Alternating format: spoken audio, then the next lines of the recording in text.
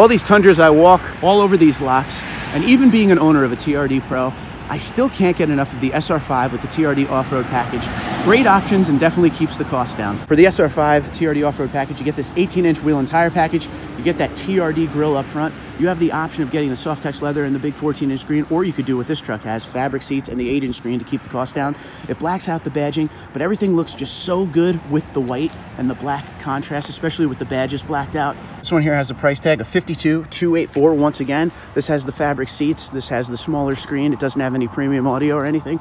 Would you pay that kind of money for this SR5 TRD off-road? And if not, what trim would you buy?